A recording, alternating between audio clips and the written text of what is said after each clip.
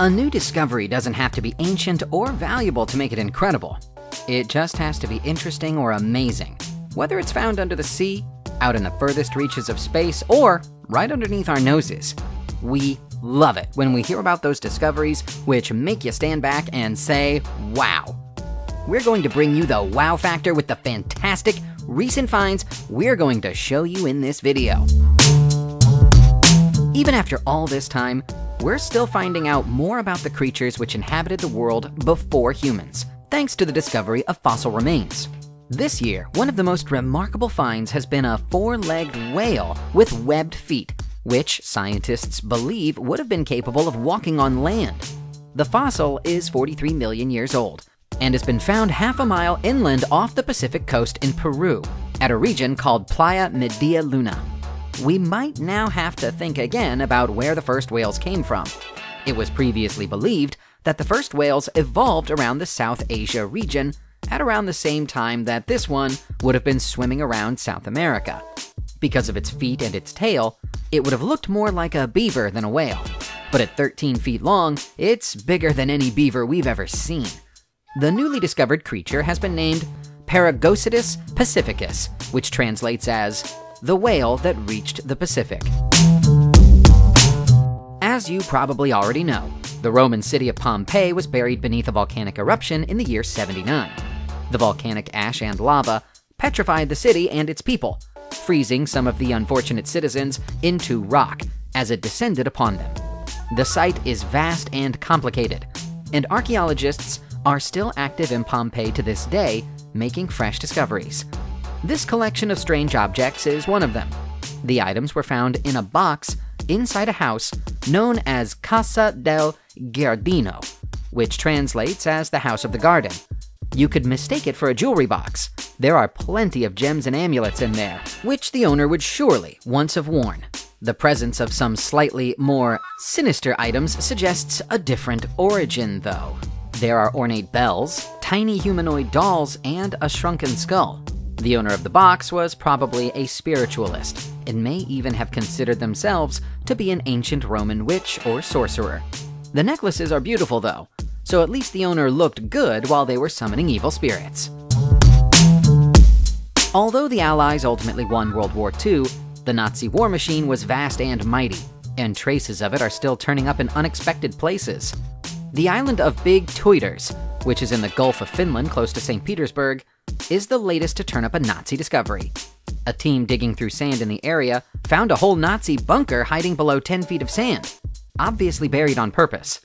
It's thought that this was a German command bunker, defended by an anti aircraft battery gun, which has been perfectly preserved.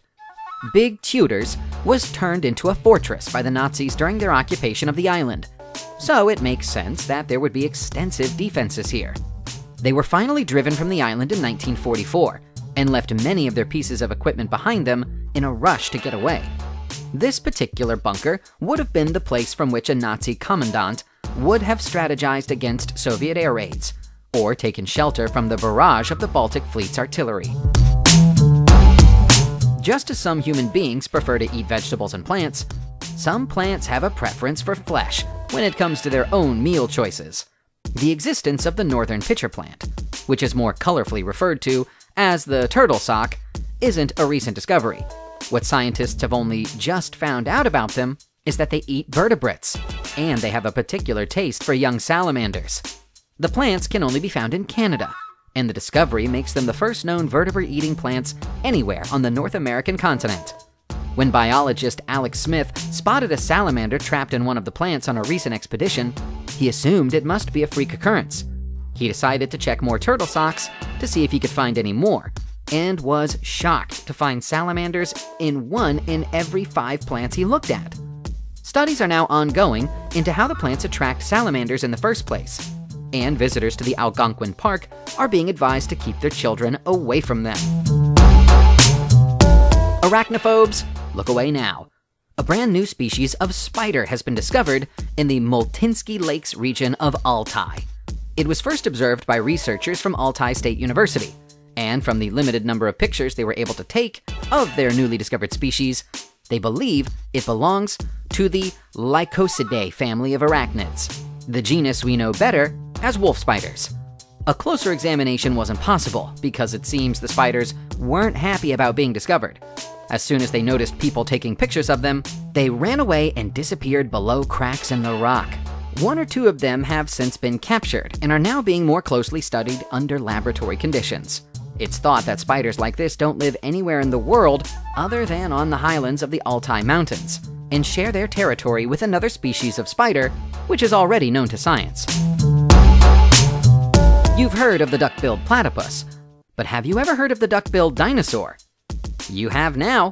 Meet the Hadrosaurid, which walked the Earth around 80 million years ago. There are several different offshoots of Hadrosaurid, including a previously unknown type, which has now been identified thanks to the discovery of a complete skull in Texas, USA. The fossilized head was found some time ago, but the discovery has only just been announced to the world after the completion of peer-reviewed testing at the Institute of Paleontology in Barcelona, Spain. The nose of the dinosaur was curved in a manner not unlike the beak of an eagle, and its wide lower jaw was likely used as a trowel for the purpose of shoveling things into its mouth. It might not be the prettiest dinosaur you've ever seen, but it probably had an impressive bite. It wouldn't have been all that interested in eating you, though. It was a herbivore. The charming looking dinosaur has been given the name Aquilarhinus palamensis. Earlier on in this video, we discussed the size and scale of the German military operation during the 1940s. This huge bunker is another astonishing example. At their peak, the German army's defenses stretched all the way from Norway to the border where France meets Spain. A major part of those defenses was the Barrarie Noordwijk, a series of 80 bunkers built by the Dutch under duress from their German occupiers. They range from barrage bunkers with 12 foot thick walls to wooden shower rooms. Over 180 soldiers would have called this temporary network home. The most notable is the S 414 Fire Leader bunker, which was three stories high and the largest German construction of its kind. Its construction required a massive 7,500 cubic meters of concrete. When the war was over, local children used to come and play in the underground world the Nazis had left behind. But by the 1970s, they had been completely filled in with sand, sealed up at all entrances, and then left alone. Parts of it were reopened once more in 2001 as the Atlantic Wall Museum of Noordwijk, which at first was in the old ammunition bunkers. More recently, the massive S 414 bunker was cleared of sand, and the museum has moved into it. NASA are the experts when it comes to all matters relating to outer space but they can't be watching all of space all the time. They need the help of citizen volunteers to assist them. And one of them has just provided them with a remarkable discovery a seemingly new type of star. It's a distant white dwarf, no larger than planet Earth, but probably once around the same size as our Sun. And it's surrounded by several rings of debris and dust. Not only is it the coldest and oldest white dwarf star that NASA has ever identified, but they also say it's the first time rings have ever been observed around a white dwarf. There's no currently known cause that would lead to rings like this forming around a white dwarf. Usually, any material orbiting around a white dwarf should disappear around the 100 million year mark. So the fact that this star is billions of years old and appears to have held on to its decorative accessories is currently providing puzzlement at the world's most famous space agency. These days, when we think of Loch Ness, we think of the famous and elusive Loch Ness Monster. It's not just people of our era who have had an interest in that part of Scotland, though. It was also very important to the people who lived close to the lake during the Bronze Age. Archaeologists digging close to the lake have recently uncovered evidence that it was once a sacred site and played host to a number of important burial rituals. A strange stone lined grave was found in the area in 2015. And now a similar second grave has been found, one which dates back 4,000 years. At the bottom of the grave was a beaker pot, which likely contained an offering for the person buried to take with them into the afterlife.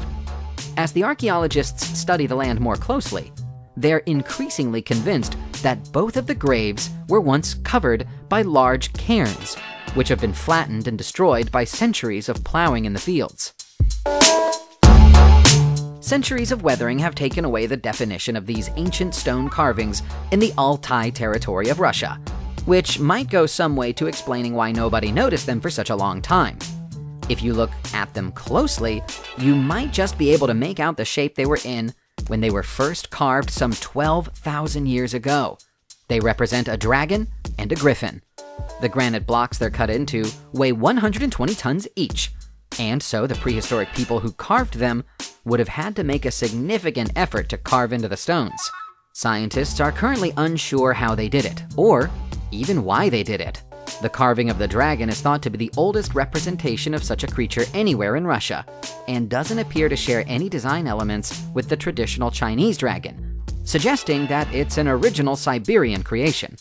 The griffin is even more impressive 18 feet long and 8 feet high, covered in intricate carvings and artificial openings, which may have had ceremonial uses.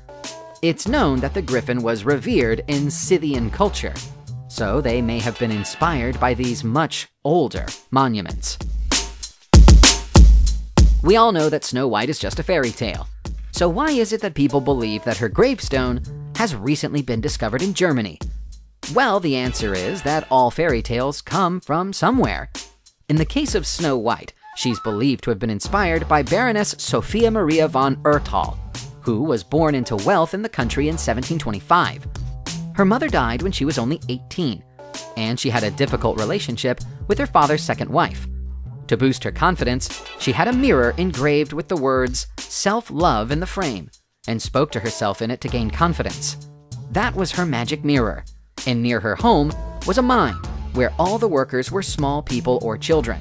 It doesn't take much to put the story together from there. The church where the Baroness was buried after she died was destroyed during the 19th century and her headstone was thought to have been destroyed along with it until it turned up in the hands of private collectors. It's now been given to the Bamberg Diocesan Museum. There are millions of motor racing fans all over the world, and so it would be logical to assume that any retired motor car would be the pride and joy of any collector's fleet. That apparently wasn't so for this ultra rare Mazda variant RX 7 racer, which raced in the 24 hour Le Mans race in 1982, but then vanished off the face of the Earth for 35 years. Now it's been found again. It's thought to be the very last Mazda 254i model anywhere in the world. The power under the hood sounds impressive. A dual rotor 13B engine capable of 296 horsepower. But the performance of the car at the race wasn't good, and the model was discontinued. It now transpires that this car was quietly shipped to Japan, painted pink, and raced in the JPSC series. After that, it spent years in a garage in Okayama. Now it's been found again. It's receiving an engine rebuild and extensive maintenance work, and it will then return to racing, this time in classic car events. This might not be the most attractive human face you've ever laid eyes on, but you should cut this woman, who's been named Hilda, a little slack. Considering she's around 2,000 years old, we think she's doing just fine. Hilda's face has been modeled around one of the oldest Iron Age skulls ever found in Scotland. It's thought that she was a druid, but lived a comfortable life on the island of Stornoway. Her skull was discovered in 1833, but only recently has modern technology allowed a realistic representation of her face to be created. If you think her mouth and jaw look a little strange, it's because she didn't have any teeth when she died. The average life expectancy of an Iron Age woman in Hilda's local area was around 31 years. But thanks to her status and privilege, she lived well into her 60s, even though her poor diet caused her severe dental problems. Druids like Hilda were masters of lawmaking and politics during the Iron Age, but legends say they were also interested in the occult. Could this be the face of an ancient witch? Subscribe to the channel and turn on notifications and you will be the first to know when a new video comes out. Thank you for watching, and see you soon.